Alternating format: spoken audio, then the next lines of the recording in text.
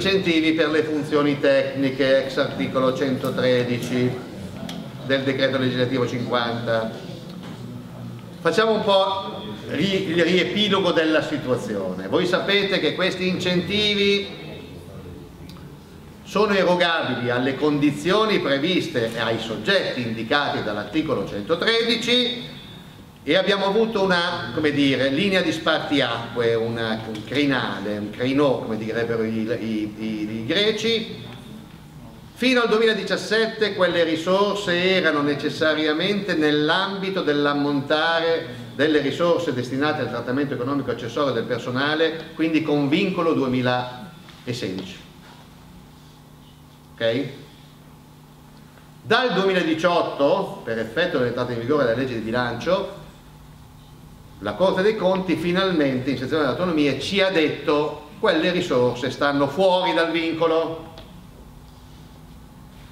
Quella linea di discrimine non è una linea di discrimine soltanto, sì, è temporale, ma dobbiamo interpretarla. Cosa vuol dire che dal 2018 stanno fuori dal limite e nel 2017 stanno nel limite? Qualcuno ha interpretato dicendo quello che paga nel 2017 sta nel limite, quello che paga nel 2018 sta fuori dal limite. Non è così, secondo me.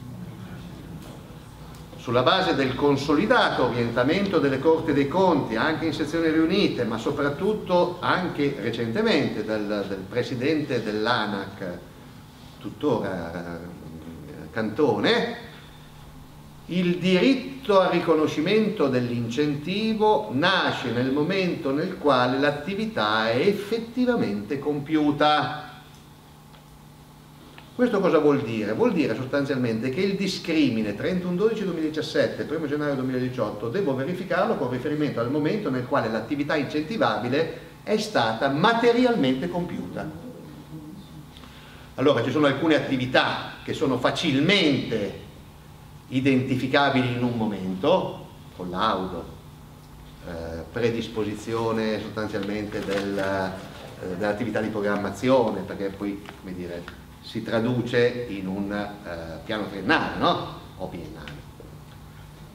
L'attività del RUP è un po' più difficile collocarla in un ambito temporale perché si sviluppa su un determinato periodo. Allora, se quell'attività si è svolta sostanzialmente, ad esempio, tra l'anno 2017 e l'anno 2018 ci vorrà qualcuno che dichiari quale percentuale è stata fatta prima e quale percentuale è stata fatta dopo. Qualcuno ha usato anche come criterio la data dell'affidamento, ma non è così, non può essere quello. Perché ripeto, il diritto all'incentivo, se l'attività è incentivabile, nasce nel momento in cui quell'attività è materialmente compiuta. È ovvio che non può capitare, come ho visto, ma voi non fareste mai cose di questo tipo, che uno si autocertifica quando la quota percentuale di attività che ha fatto in un periodo è quello dell'altro. Perché se uno è coinvolto, c'è un principio generale dettato dall'articolo 6 bis della 241 che quando uno è direttamente coinvolto su un procedimento deve astenersi. E voi dite, chi è che fa quella roba lì però? se non la può fare colui che è responsabile e che sapeva materialmente come sono andate le cose e purtroppo signori negli enti soprattutto di minori dimensioni vabbè sono i dirigenti il problema non c'è perché tanto i dirigenti non hanno diritto al compenso quindi non c'è problema. Dove non ci sono i dirigenti acquisisce tutta la documentazione necessaria un soggetto che è quello che ha il potere sostitutivo e che deve intervenire nel caso eh, dire, ci siano le condizioni e, e, secondo me difficilmente non può non essere il segretario, ve lo dico spassionatamente, poi capisco che è un bel problema, ma... Quindi, sugli incentivi i termini temporali sono questi, a questo punto si tratta di capire, diciamo dal 2018 in avanti, come applicarlo. Dunque Arconez ci ha detto che dal punto di vista contabile, ne parlavamo prima eh, all'inizio della, della, della, della giornata proprio l'operazione dei soldi che sono collocati sul titolo secondo deve essere dire parificata passandoli ovviamente sul titolo primo quindi impegno nei confronti di se stessi e accertamento per evitare la duplicazione dell'impegno. Ma queste sono cose che voi sapete perfettamente e non c'è bisogno che io le approfondisca. Il problema vero è quello che riguarda sostanzialmente le condizioni che possono giustificare il riconoscimento di questi compensi. Prima questione. L'affidamento deve avvenire mediante procedura competitiva, ancorché semplificata, ma una procedura competitiva formale. Cosa vuol dire? Che deve essere almeno una procedura negoziata dove ci sono più soggetti, ci vuole una gara, ancorché semplificata. Per capirci, proprio ieri la Corte dei Conti del Veneto ha risposto a un quesito in questi termini, ve l'ho messo nella documentazione, l'affidamento fino a 150.000 euro dei lavori che sulla base del eh, decreto sblocca cantieri i vostri uffici tecnici possono fare con affidamento diretto previa acquisizione informale di almeno tre preventivi, quella non è una gara, quello è un affidamento diretto. E siccome da voi so che non capitano queste cose, ve lo dico che non può accadere come è capitato in alcuni enti dei quali mi hanno chiamato gli amministratori, perché poi come dire, mi chiamano i funzionari, gli amministratori, io sono sempre un po' in difficoltà a trovare degli equilibri tra le cose, ma L'altro giorno mi ha chiamato un povero sindaco di un ente piccolo, peraltro, nel quale dice scusami ma io ho bisogno necessariamente di fare rapidamente questo intervento. È un intervento di banale manutenzione che aveva promesso i cittadini, ma io mi metto anche nei panni degli amministratori, intanto capita pure che qualcuno, come dire, debba rispondere delle cose. E dice, eh, eh, sono andato dal, dal, mio tecnico gli ho detto, senti, fallo rapidamente, questa cosa è la precedenza su tutto, perché ho bisogno in qualche modo di, perché c'è la gente arrabbiata, dice ah no no no devo fare una procedura negoziata e lui poveretto aveva sentito girare nell'aria che fino a 150.000 euro il valore non era, era inferiore a 150.000 si poteva fare l'affidamento diretto e gli ha detto scusa perché non fai l'affidamento diretto? è bello bello l'ingegnere gli ha detto eh perché non prendo l'incentivo che voi dite ah ma queste cose qua non possono accadere eh, accadono eh. vi posso assicurare che accadono quindi, prima questione, procedura di gara formale, deve esistere anche che semplificata, ma ci vuole una gara obbligatoriamente. Seconda questione, non marginale, è, riguarda gli affidamenti di servizi e forniture. Sui servizi e le forniture, attenzione, attenzione, attenzione, perché il comma 2 dell'articolo 113 dice che gli incentivi per le funzioni tecniche sono riconoscibili anche per l'affidamento di servizi e forniture, ma a condizione che sia nominato il direttore dell'esecuzione del contratto. In assenza della nomina di, di un soggetto distinto dal RUP come direttore dell'esecuzione del contratto, non è possibile erogare l'incentivo a nessuna delle figure coinvolte, quindi è una condizione, come dire, vincolante, necessaria e sufficiente. C'è un principio generale che va considerato, a parte il fatto, ripeto, che c'è questo parere della Corte dei Conti del Vento 201-2019 di ieri che dice, che ho letto ieri, dove si dice chiaramente, signori, la regola del gioco è quella delle linee guida 3.10.1 e punto 2. E vabbè, mettono in discussione. Tanto per cominciare, allora, il principio generale è quello che i procedimenti amministrativi devono essere semplificati, o meglio, devono essere semplici per definizione. Non è che io nomino un direttore dell'esecuzione del contratto come ho voglia io, perché c'è un principio di semplificazione del procedimento amministrativo. Allora, nominare un direttore dell'esecuzione del contratto significa sostanzialmente individuare un soggetto distinto dal gruppo, cosa che non sempre è facile peraltro negli enti di minori dimensioni, e soprattutto deve essere motivato dalle caratteristiche dell'affidamento che faccio a meno che non sia un affidamento complesso di servizi o forniture complesse. E l'ANAC fa un elenco sostanzialmente, di tre punti dice per la complessità. Dice ambito sostanzialmente che riguarda una tipologia diversa e distinta di servizi, fa l'esempio ad esempio dei servizi di pulizia, sanificazione eh, in area medica, no? Sterilizzazione, beh, come dire, sono cose, non è la pulizia, eh? è una cosa ben diversa.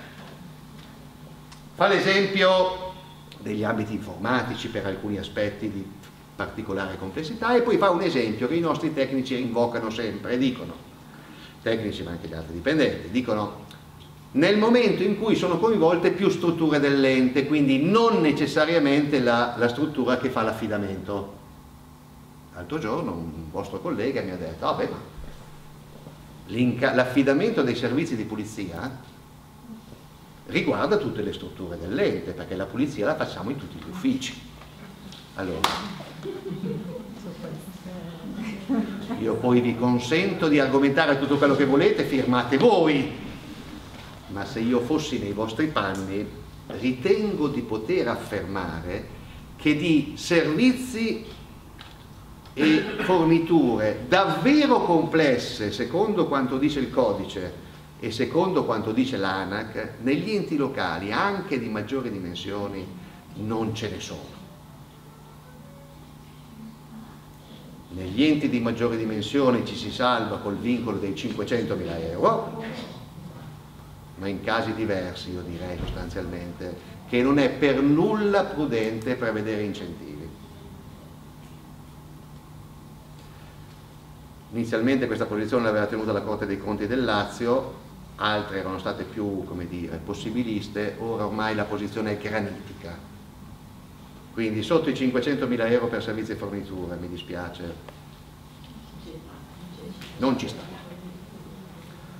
State attenti anche che la Corte dei Conti in sezione dell'autonomia ci ha chiarito finalmente, io dico perché in effetti era un bel problema, che gli incentivi per le funzioni tecniche non sono erogabili nel caso di concessioni perché in effetti non c'è sostanzialmente il capitolo sul quale imputare, quindi sostanzialmente addirittura la Corte dei Conti di Lombardia aveva detto che non era che si poteva prendere a base di calcolo non il canone, ma addirittura dire, il valore complessivo della concessione. Vista interpretazioni di questo tipo, la sezione dell'autonomia, che ogni tanto fa anche delle cose che in qualche modo sono dettate non sempre dal diritto, ma dalla ragionevolezza, a volte anche no, ma eh, ha detto non se ne parla nemmeno. Gli incentivi per le funzioni tecniche possono essere riconosciuti soltanto nel caso di appalti, non nel caso di contratti di concessione. Per l'amor del cielo che non accada nei vostri enti, ma lo so che non accade, che qualcuno si autoliquidi gli incentivi. Ma non se ne parla nemmeno che uno si autoliquidi cioè uno non può trattare dei procedimenti che riguardano le persone con le quali ha abituali frequentazioni e si liquida da solo dei soldi. No, ma scusate. Dice, oh, ma è un atto meramente attuativo, una bella miseria un atto attuativo, erogare degli incentivi. C'è una serie di, di, di, condizioni che sono rigorosissime e che vanno attestate, le attesto io per me medesimo. No, scusate, eh. No, perché poi sento anche ragionamenti, so che voi non lo fate, ma ragionamenti di questo tipo, ah, ma te li paghi tu, ti assumerai tu la responsabilità. No. Non può funzionare così, eh? Erogazione di questi compensi. Vedete, uno si autoeroga, no? Si autoliquida. Al netto degli oneri riflessi siamo tranquilli. E l'IRA? Allora, anche recentemente, ve lo, nel, ve lo metto nel materiale, c'è una chiarissima, chiarissima sentenza, a parte il fatto che le sezioni riunite già nel 2010 erano state, no, non chiare dal punto di vista della formulazione, che era, era fraintendibile quella, quella, quella lì, però l'avevano detto fin da subito sostanzialmente, che l'IRAP non è sostanzialmente a carico del dipendente, ma quando io ho un ammontare complessivo a disposizione e non posso superare questo ammontare, la prima operazione che faccio è scorporo l'IRAP, poi erogo il compenso all'ordo degli oneri riflessi a carico dell'amministrazione e poi ci applico l'IRAP, ma senza che ci sia maggiore sborso per l'amministrazione. Anche recentissimamente la Cassazione ha come dire, chiarito questo concetto. Quindi, operazioni con i quali si riconosce, perché c'è il principio fiscale secondo il quale l'IRAP è a carico dell'amministrazione, è vero, ma l'operazione di scorporo lo faccio a priori. Quindi è a carico mio, mi tolgo la, dalla quota che ho a disposizione l'IRAP e poi la pago io, ma la tolgo dalle, dalle somme che ho a disposizione. Eh, questo vale anche per i diritti di segreteria del segretario comunale. Eh So che ci sono tra i segretari e tra di voi, ma non ci sono dubbi sotto questo punto di vista. E situazioni che so che voi non attuate, ma che non si possono attuare, che dicono ti do il compenso senza scorporare l'IRA, perché parte certa giurisprudenza contabile ci dice che possiamo, possiamo anche non scorporarlo, e io mi impegno a restituirtela nel caso in cui ci sia un orientamento inequivoco che dice che devo restituirla, è contrario al 2113 del codice civile. Cioè patti che sono in contrasto con le norme di legge, le norme contrattuali, sono nulli. Certo. Cioè io non posso dire ti do i soldi ma poi tu ti impegni a restituirli, perché tu come dire, quando io mi impegno a restituirli, quando dice allora dai, mi hai detto che me li restituivi, ti dico, ah, auguri, buona fortuna. Sapete che è uscita una deliberazione, non so ma ce l'avete vista sicuramente, la numero 5 della sezione delle autonomie del 2019 che ha detto io ho taciuto l'esistenza di quella deliberazione fino ad oggi perché poteva ingenerare qualche dubbio, qualche problema. Loro dicono sostanzialmente che gli incentivi scusate no, i compensi derivanti dalla quota parte di risorse derivanti dalle, dalle entrate contravvenzionali ai sensi del 208 del codice della strada stanno, come peraltro a questo punto dice chiarissimamente anche il contratto nazionale, l'articolo 67, nell'ambito dei vincoli del 2016. Ce l'aveva già detto la Corte dei Conti, erano i famosi 15,5, adesso 67,5 da destinare agli operatori della Polizia Locale.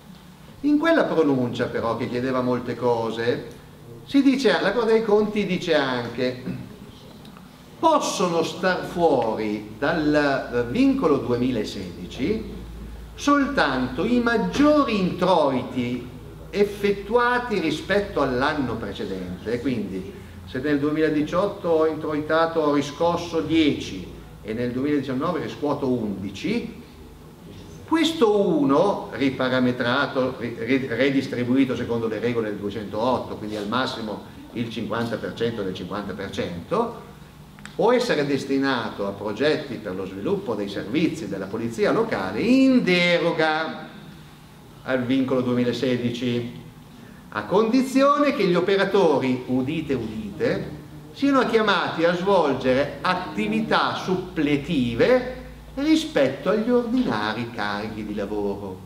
Cosa vuole dire?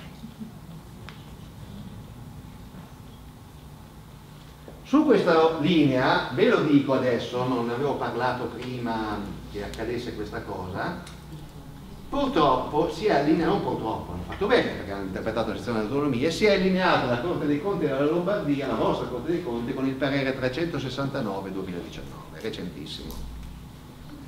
Allora io sono certissimo che ai vostri tavoli negoziali, quando si legge qualcuno avrà letto questa roba qua, arrivano e dicono oh, già fatta, eh? già fatta.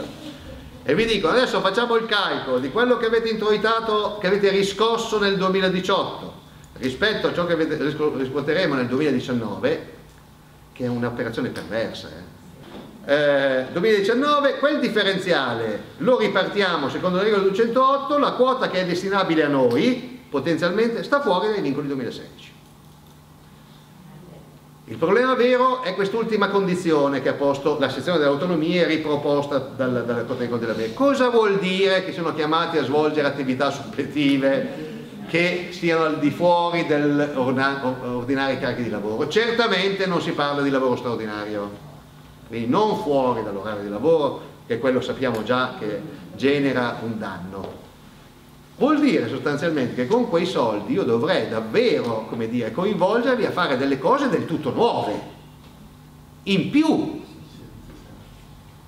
Allora, se inserisco un nuovo turno, o se implemento quelli che ci sono, cioè aumentando gli orari ad esempio, posso anche sostenere una tesi di questo tipo ma se io li destino, come capita soprattutto negli enti di minore dimensione, ma purtroppo anche nei grandi, a l'attività di controllo sul territorio, l'attività quante macchine fermo in posti di blocco durante le ore serali, quindi confermo sostanzialmente quel range di obiettivi che tra l'altro con indicatori del tutto marginali, eh, che avevo prima, secondo me diventa dura tenerli fuori dalla, dalla, dal limite del 2016, però qualche problema si porrà inevitabilmente, perché soprattutto negli enti di una certa dimensione potrebbero anche essere risorse importanti. Eh? E soprattutto i vostri operatori della polizia locale si scateneranno per fare multe a questo punto, perché... con misura però, perché come dire, se di anno in anno io devo aumentare, eh, dovrò fare un lavoro progressivo.